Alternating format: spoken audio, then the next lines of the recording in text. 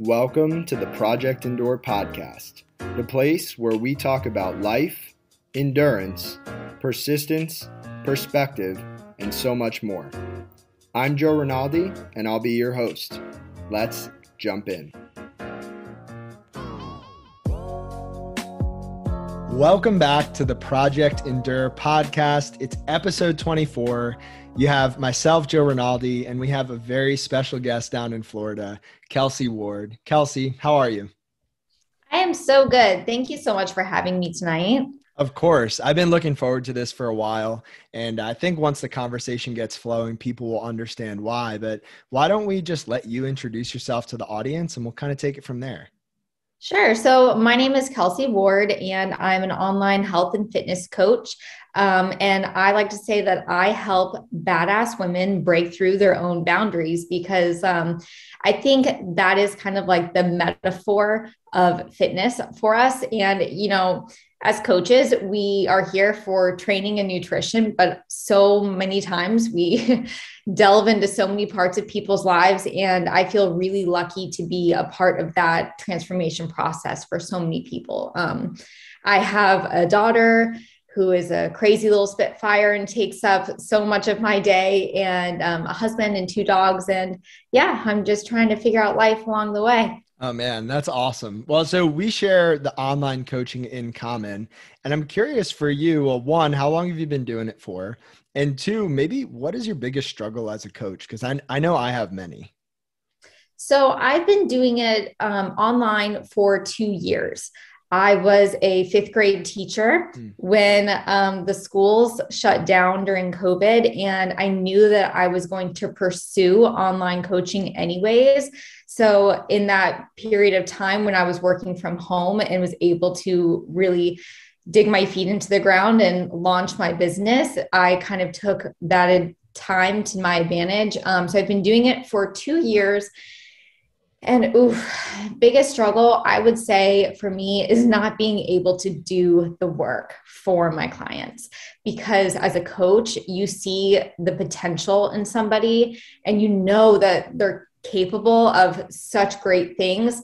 Um, but at the end of the day, they have to be the ones to do the work. And that is where the growth and change comes from. So, biggest struggle is to just not be able to save them when you want to. Yeah, I could relate to that big time. And I grew up not really knowing what a quote unquote online coach was. And I think that's because they probably didn't exist. The internet was mm-hmm. still in its infancy. But I did have many coaches playing sports growing up. And there's a John Popovich quote that stands out to me. It's targeted at basketball, but really I think it applies to all coaches.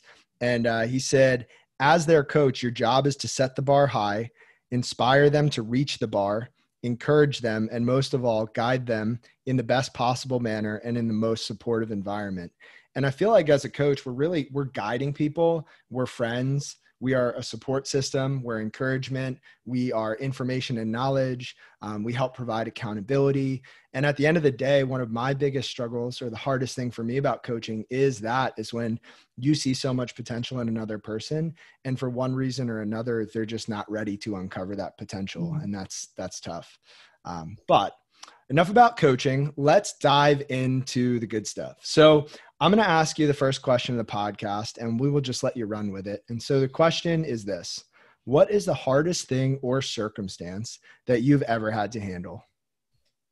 So, when I was in college, um, I was in a really rough relationship, and I didn't know at the time how rough it was. I was really mentally kind of manipulated um, by that person. And it left me with some disordered eating. Mm-hmm. And that's kind of what got me into coaching in the first place. Um, but backtrack to that time, I really had no control over my life or my body. And so my way of regaining that control was through food and deprivation. And at one point I had told someone, I don't even feel like I deserve food because mm.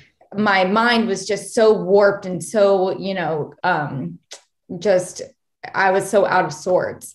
Um, so I got down to like 89 pounds. It was a really bad situation. And then eventually I realized kind of what was going on. I sought treatment and dug myself out of that hole. And it's not something that I talk about too much anymore because I don't want it to be my story. You know, I don't want it to encompass like who I am. Um, and I don't want it to be my identity. But I do think it's important for people to see like you can come from literally rock bottom hmm. um, and rebuild yourself. Yeah, and and to to kind of ask follow up question there because I'm I'm genuinely curious as someone who also had a period of life where food was one of the only things I I felt like I could control, um, and it wasn't something I was able to admit to myself for a really long time. Um, but I look back now and I could see how I got to that point, right? And so when you look back at that quote unquote rock bottom, in the weeks, months, years leading up to that rock bottom, were there points where you were aware you were headed in that direction and that you wanted to make a change, but just felt like you couldn't for one reason or another? Um, I do. I remember just feeling like every time I came home, because I was in college, I was away.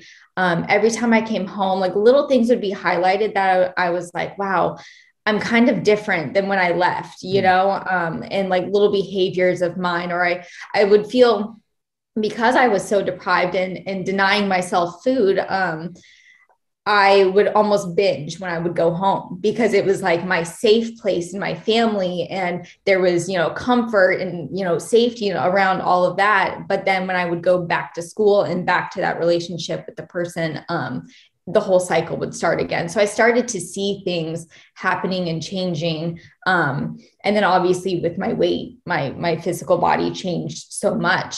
Um, and the sad thing about it is that it was not in regards to my appearance at all. Hmm. It had nothing to do with my physical body. It was everything that was going around mentally and just grasping for that control. Hmm.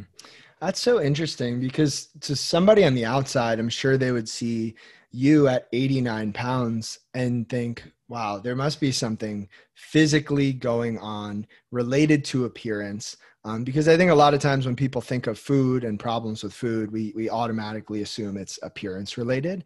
Um, but it was almost as if something deep down inside of you was not was not right. Like something was off balance. You were trying to figure out how to regain control over your life. And so food became that thing and it had an external manifestation. And I'm curious for you at 89 pounds, like what was rock bottom? What did that look like? What did it feel like? And why was that rock bottom? And why were you able to build from that point? Um, I had a, uh, honestly, I don't know that I would have gotten myself out. I had some family members, um, when I would go home, I had some family members who mentioned things and, you know, that I needed to go seek help. Hmm. And honestly, I was still so confused as to how I got there and why I got there. And even after seeing a therapist and getting treatment, I didn't feel like I had totally solved the problem. And I actually ended up staying in that relationship for a while. And it was only after I left that relationship, um, we actually got married and divorced, um, that I figured out, I kind of connected all the dots of like, that's what was going on. That's, you know, where the the trouble came from. Yeah, yeah. I'm almost going to skip ahead here to a question I ask at the end. I'll ask a variation of it, but when you look back at Kelsi then, and and how old were you, Kelsi, when all this was happening? I was 19. It was probably from the ages of 19 to maybe 21. Okay. So it lasted a while. Yeah. So so if you were to be able to go back in time and just sit down and have a conversation with let's say 20 year old Kelsi, what what would you what would you say to her? Gosh. I would tell her to look deep in herself and take a, a big step back, realize what she's capable of, and realize that she deserves better, is meant for more, and um, has to make herself a priority in order to make all those things happen. Mm. Um, yeah. Yeah. And, and, so it sounds like fitness became a way that you were able to help dig yourself out. And I love the way that fitness can be an analogy for almost anything else in life.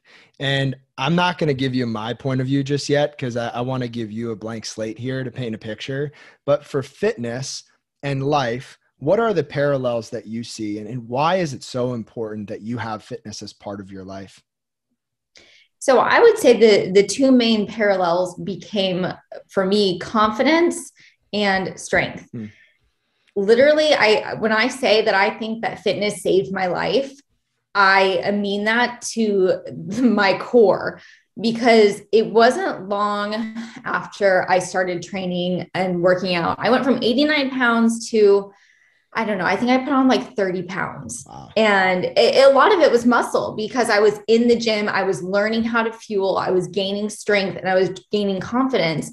And within probably a year of starting to train, um, I left that relationship because I felt more confident in myself. I felt stronger. And I know it sounds silly to say like that physical strength gave me so much mental strength, but it really does. When you start taking care of yourself and honoring your body, you you carry yourself differently. You believe in yourself differently. You realize that like those you know, even if it's just picking up a heavier dumbbell than you did the week before, those little hurdles transfer into your life every single day. And so once I did that, I was like, I am strong and I am confident and I can take care of myself. And I walked out the door and I never looked back. Oh, man, I, I want to talk about fitness, but before I talk about fitness, I just want to ask you because I would imagine there are people listening to this podcast who are in some kind of relationship and maybe it's not a marriage maybe it's not even a romantic relationship maybe it's a friendship for example but they feel like they do need to separate themselves for whatever reason but they're afraid.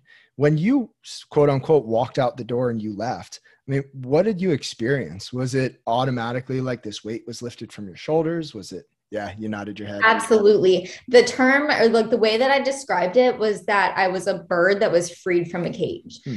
I had no intentions of leaving for good the day that I left, but um, I kind of packed a bag. I was like, I'm just going to go for to my mom's for a day or two. But literally, when I walked out that door, I was like, I had never had that feeling of being free and safe like that in so long. And I just kept saying, I feel like I'm a bird that's been let out of a cage, and there's no way I could ever put myself back in that cage. Uh, that's beautiful. Um, you know, to to take it back to fitness for a second, I loved what you said. I loved everything that you said. And for me, I agree with everything. And I also want to add that I think the reason, for me at least, why fitness makes me feel confident isn't because of a way that I look or what I can necessarily do, but it's just this thing that you have to continue to show up for, right? Mm-hmm. You can't go to the gym for a year, attain a certain physique or level of strength or skill, and then just hang it up and say, well, I did it and I'll keep it. No, it doesn't work like that. You have to show up over and over and over again. And when you could show up for yourself in that way, like you can show up for yourself in any way. And uh, and the other thing about fitness that I'm sure you know and everybody listening who who's involved with fitness knows is that resistance reveals resilience. I love that saying. And it's just that when you go and you face resistance in the gym or in life, it's that's the stimulus for strength, right? We have to struggle in order to get stronger. And that parallel is just such a beautiful one to me. So, anyway, enough of me rambling about fitness. Let me ask you now about some of the hard things that you've done, right?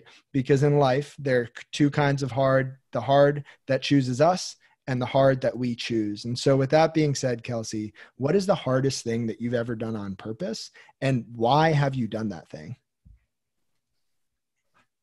Hmm. Are we talking just fitness or just life in general? Life in general, but if you want to give me multiple things, I'm all for it. Honestly, I think it it was starting my coaching business. Hmm. I mean, that it's been it, i i know instagram maybe makes it look like you know you just post a picture up one day and then you're just hanging out on the beach you know working wherever and like traveling the world or something like that. But for me that wasn't the case. Um it was it was a challenge you know it's a it's a steep learning curve. If you and i know you're serious about your coaching business but if you're serious about it you know you have to have your systems in place you have to have your education in place you have to have your mindset in place like and for me um it's so all encompassing i have trouble turning it off so it probably shouldn't be as much of a struggle, I guess, as I've made it. But when you care about it so much, and it's truly like another baby, um, you know, that's it. But and, and speaking of babies, I would say probably starting my family. Um, I don't like to say that it's the hardest thing I've ever done, but it's definitely the most consuming thing when you have a child um, especially in the early years, you know, that zero to two to three years old, it's so consuming. Mm. Um, but it's so rewarding at the same time. Yeah. So, all right. So let's take those one by one. We've got coaching, starting a coaching business, and and starting a family. Let's start with coaching. Now, that's something I can directly relate to, and I want to reiterate what you said. It might look one way on social media, but starting and scaling and maintaining a coaching business is really hard mm-hmm. and I, I, would be curious for you what's what's maybe one thing that was really hard? If you had to narrow it down to something specific was it uh, learning how to market yourself? Was it growing your client base? Was it learning how to put systems in place? Like what was the hardest thing about the coaching?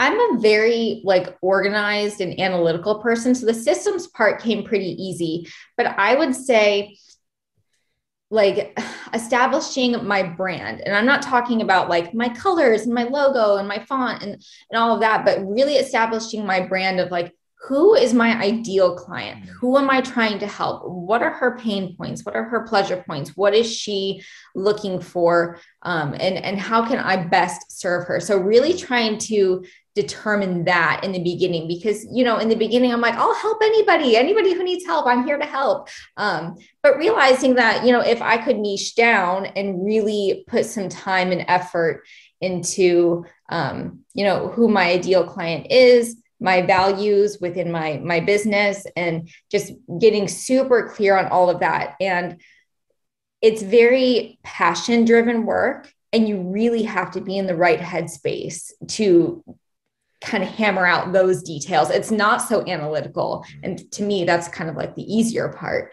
Um, but that, those were my biggest hurdles. Yeah, I can second that. And I think for me, two of the hardest things one, investing into people sometimes is doesn't feel productive.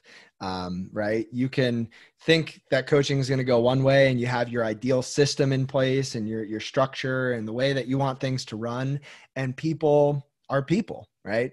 They don't show up on time. They miss things. They aren't as consistent as you'd hope. They don't believe in themselves as much as you you would want them to, right? All the list goes on and on. And a lot of coaching for me is like learning how to interact with people and meet people where they are and help take them to where they want to be. And oftentimes, between meeting someone and then taking them to where they want to be, you have to walk with them through some messiness, through some uncertainty, through problems, barriers, struggles, obstacles, so on and so forth.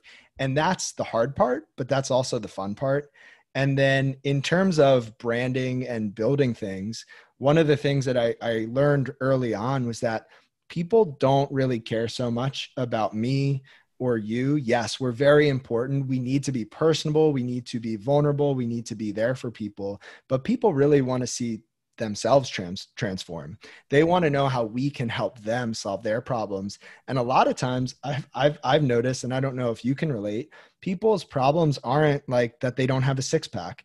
They might want a six pack, but why do they want a six pack? Yes. Right? Yes. Talk about it. Yes, no, I totally agree. Um, I was just talking to someone recently about this that they were like, I have this vacation coming up and I want to look good in my bathing suit. And I kept, and, and we're, I think, a little more accustomed to that digging deeper down into things.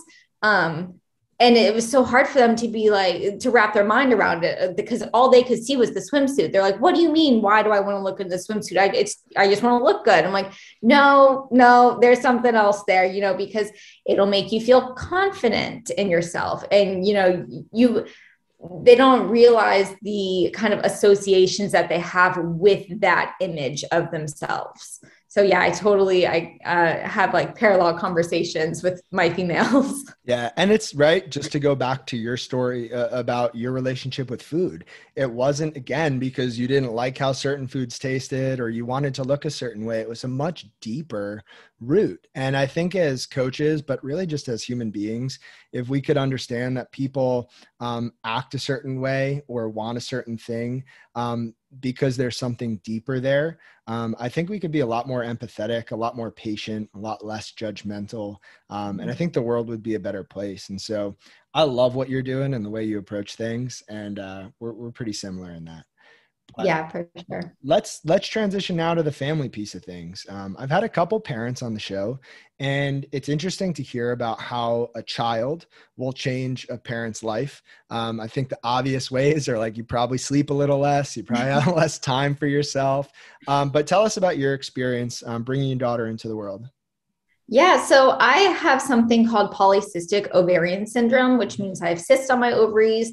And typically, women with that do not get pregnant naturally. Um, I was very, very lucky and very blessed to get pregnant naturally. Um, and I had a great pregnancy, super happy with the way everything went. She was very healthy when she was born, but she did have colic, which means they classify colic as crying for more than three hours, for more than three days, for more than three weeks. So, pretty much your child is crying and unhappy all the time, and there's nothing you can do about it. So that was a very harsh introduction to motherhood.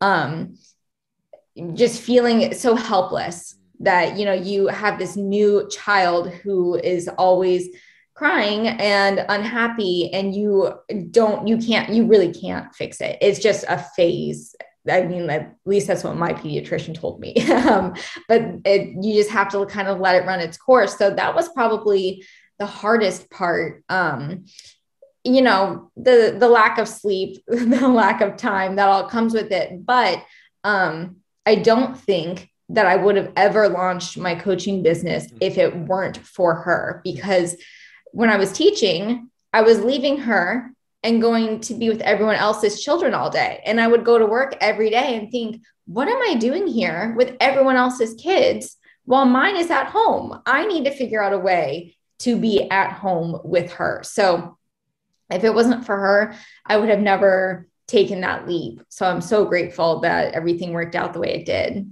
Uh, that's so cool to hear. I was uh, talking to Adam Klink, who you and I both know, on episode 10 of the podcast. And we were talking about his experience being a parent. And it kind of came to the surface that you almost have this superhuman strength when you have other people in your life who are equally important or maybe even more important than you are to yourself. Um, and I would imagine that being a parent it gives you maybe a little bit of a, a courage boost and a, a, boost to just like, hey, I'm gonna go make this happen because it's gonna make my life better and my child child's life better, and we're gonna do this together. Was that kind of the case for you?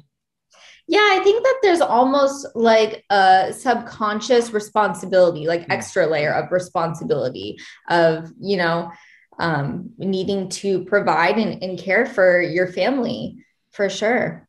Yeah. And I think when it comes to hard things, like hardship, adversity, challenges, struggle, um, the people who are able to endure things well are the ones who have a reason that's bigger than themselves because at the end of the day if the only reason we're doing something is is for ourselves like at some point we're going to come up against some resistance or some problem or some challenge that's just bigger than that. It's bigger than us. And so we need to have this thing this reason this driving force that's bigger than us. And it sounds like your daughter probably among many other things is is that reason. So since i mentioned it let me ask you the third question. And that question is a simple one. What does the word endurance mean to you so uh, I don't know. I think endurance to no, no, I, I know it's just, I feel like it's constantly changing. Um, endurance, I, I would say it's mastering the monotony and making it mean something. And that's kind of like one of my quotes, but that's, that's what I would tell myself whenever I was running. I know it's in, again bringing it back to the training side but that's kind of what i would tell myself when i was running is master the monotony and make it mean something. Or when i was working on a longer project that you know requires that endurance and just digging deeper than the surface level.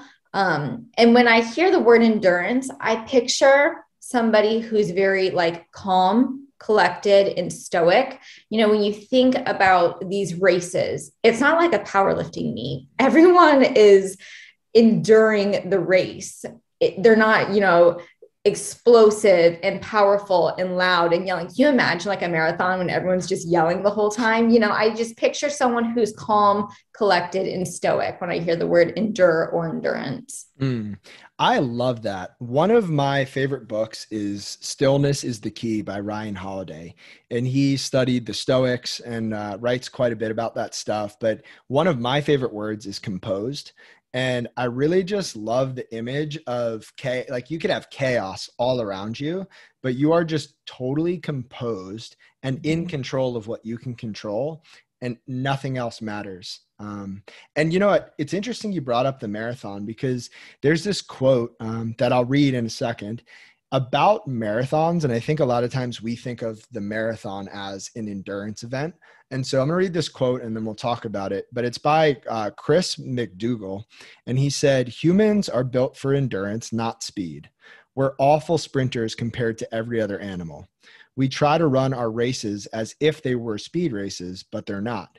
They're endurance races. Even a marathon, the way it's run now, is not an endurance contest.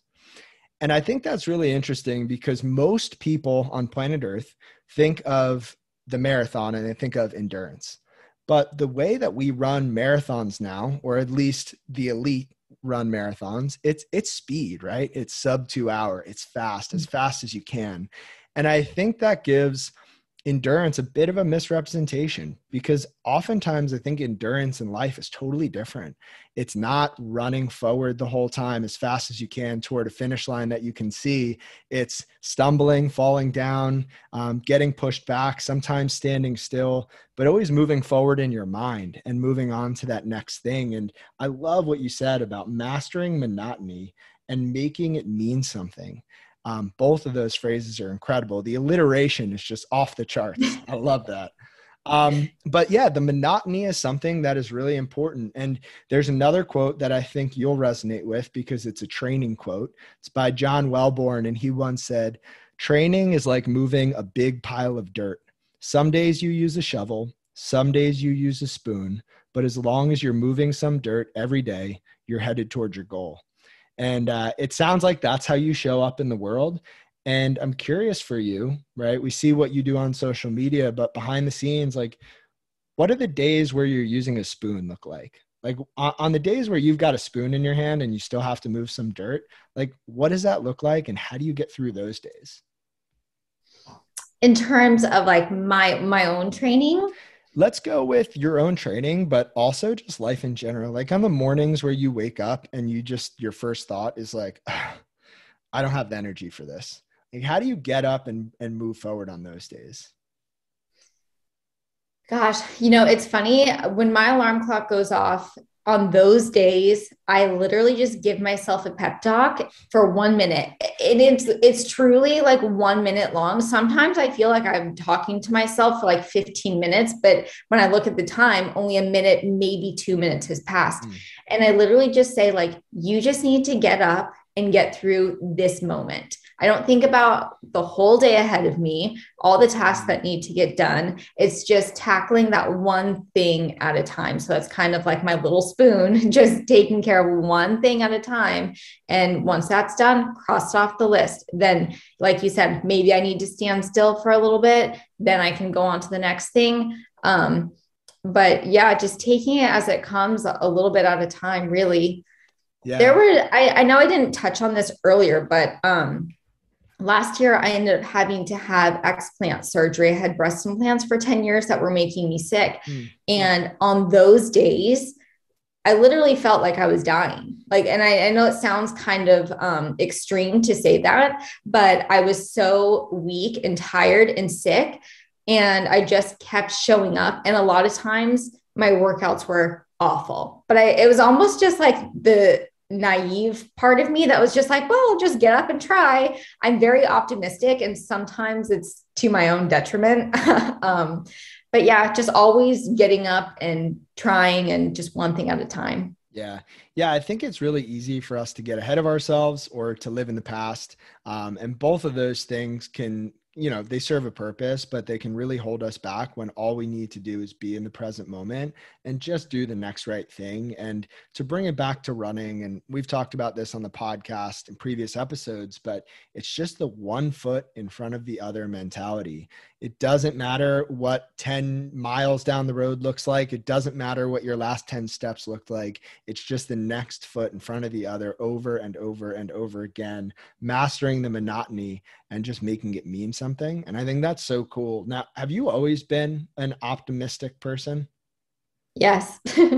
like too like too optimistic and too I don't want to say too trusting, but I always believe the best in people. Mm. You know, I always believe that everyone is doing their absolute best, even if it doesn't appear that way. Um, and I've always been very optimistic um, and just thinking that you know things will work out and the best will happen and like i said sometimes it's to my detriment because i almost get blinded to the realities of things that are going on um, but yeah huh what would you change that if you could looking back at your past the the optimistic part of you that maybe sometimes borderlines on being a little bit naive um I don't think so because I think without that, it wouldn't have led me to the experiences where I ultimately learned.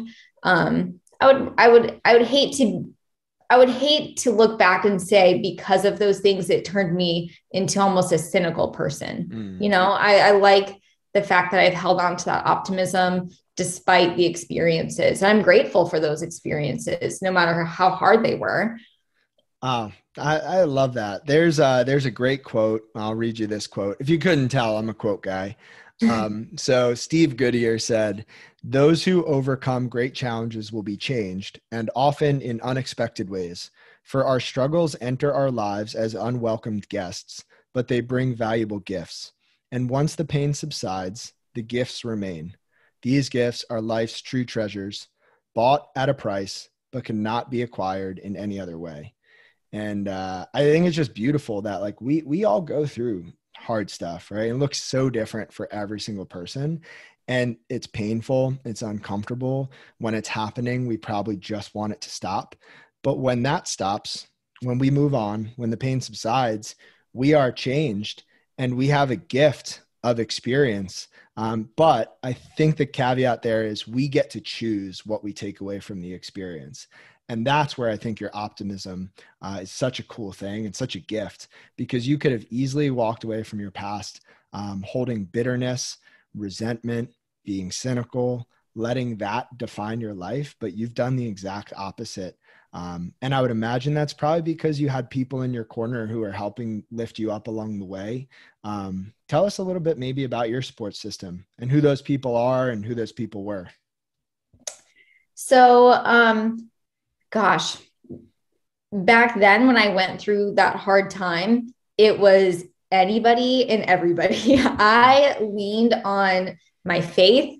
You know, I started going to church. So the whole church community, um, my therapist, my family, and um, now it's it's mainly my husband. Um, you know, coming from my past relationship he he was the one who took the brunt of that you know? Um, i carried a lot of baggage and he had to be super understanding. And he's really my support system now. And um, i actually just made a post on this the other day that he he doesn't he doesn't feed into any of my bs so he doesn't let me lower my standards. He doesn't you know he he sees um, whenever I start to waver or maybe doubt myself or things like that. And um, I'm grateful for his support in that way. Yeah, that's so important to have those people in our lives. And to your point earlier, because I've been in those places where um, you just you feel really down, and um, I've been in that season, and I know most people listening to this have at least experienced a taste of that. And in those moments, anything anything could mean the world. Someone holding a door for you, somebody mm-hmm. asking how your day is, somebody smiling at you, a nice text message. Um, and so for the past, I'd say five, six years, I've used that season of my life um, to create habits and systems so that I can try and be that person for as many people as possible. Um, and so, one practical takeaway for anybody listening to this podcast is just every day, if you can, think of someone who you haven't talked to in a while and send them a genuinely nice message you know, hey, Kelsi, I know it's been a long time, but I was thinking about you today and just wanted to let you know how much I appreciate your positivity and everything you're doing. I hope you're doing well and have a great day. Right? Something as simple as that can catch somebody at the right time and absolutely change the trajectory of a day, of a week, of a month, of a life. And uh, and I just think it's it's just you know you never know what people are going through. You know. Absolutely. Um, so, Kelsi, I want to frame this last question to you in a very specific way. I've been doing this with all of the parents on the show. It's all of a sudden become a theme. I don't know where it came out of, but uh, the last question is really aimed at people listening to this podcast who maybe are experiencing um, some kind of hardship or challenge or struggle. Um, but as a parent, right? Your daughter someday is probably going to go through some hard stuff, just like we all do. You know, that's life. And so, as you answer this question, I want you to also think of maybe you're just talking to your daughter someday. Um, so, the question is pretty simple. And if somebody is listening to this podcast going through a hard season of life and you're talking directly to them right now, what advice or guidance or wisdom would you have for that person? I would tell them just to keep going. I'm going to fall back on my saying, which is breathe through it until you break through it.